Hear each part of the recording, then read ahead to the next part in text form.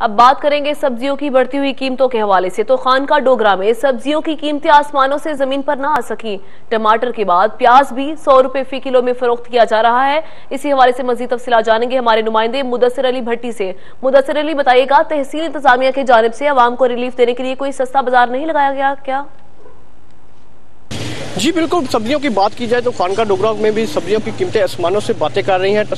ادرک اور پیاز کے بعد اب پیاز کی بھی قیمتیں آسمانوں سے باتیں کر رہی ہیں اور پیاز ہے جو سو روپے کلو، اسی روپے کلو فروخت کیا جا رہا ہے اور ٹماٹر بھی ہے جو بہت زیادہ مہنگے ہو گئے۔ اس سے وجہ سے شہریوں کو کافی مشکلات کا سامنا کرنا پڑ رہا ہے۔ تو گورنمنٹ جو ہے مہنگائی کنٹرول کرنے میں بالکل ناکام نظر آ رہی ہے۔ اگر تو آج بازاروں کی بات کی جائے تو خانقاہ ڈوگرا میں انتظامیہ کی انتظامیہ کی طرف سے کسی قسم کا کوئی اعتبار بازار نہیں لگ رہا جہاں پر جو شہری اپنی سستی چیزیں خریدی جا سکے۔ لیکن اس وقت میرے ساتھ کچھ شہری موجود ہیں، ان سے پوچھتے ہیں کہ یہ بڑھتی ہوئی سبزیوں کی قیمتوں کے حوالے سے ان کا کیا کہنا ہے؟ کہ جی آپ بتائیں جی بڑھتی ہوئی کہ جو سبزیوں کی قیمتیں بڑھ رہی ہیں روز برا اس حوالے سے آپ کا کیا کہنا ہے؟ جی السلام علیکم۔ سبزیوں کی قیمتیں بہت زیادہ بڑھ چکی ہیں۔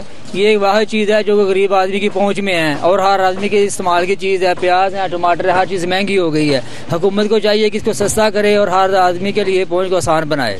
جی بالکل، ان شہریوں کو کہنا ہے کہ پیاز اور ادرک اور لہسن اور قیمتیں بہت زیادہ بڑھ گئی ہیں، جس کی وجہ سے جو شہری ہیں، وہ بہت زیادہ پریشان نظر اس سے اس وقت میرے ساتھ دکاندار موجود ہیں، ان سے پوچھتے ہیں کہ یہ اتنی زیادہ مہنگی ہونے کی وجہ کیا ہے، اتنی زیادہ کیوں مہنگی بیچ رہے ہیں؟ جی آپ بتائیں، یہ سبزیاں اتنی زیادہ کیوں مہنگی ہو گئی ہیں؟ یہ پیاز اور ٹماٹر کا بھائی جان زیادہ مسئلہ ہے۔ انڈیا سے پیاز بھی ملتا تھا اور ٹماٹر بھی ملتے تھے۔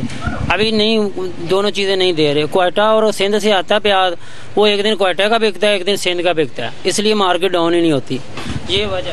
جی بالکل ان کا کہنا ہے کہ جو بڑی منڈیاں ہیں وہاں پر جا کے یہ جو پیاز اور ادرک لہسن اور مٹر کی قیمتیں بہت زیادہ بڑھ گئی ہیں۔ جو اسٹاک پیچھے سے اگر یہ کم آئیں گی تو یہ جو کم نقصوں پر فروخت کیا جائے۔ لیکن انتظامیہ ہے ہماری جو وہ علی آگاہ کرنے کے لیے۔ اب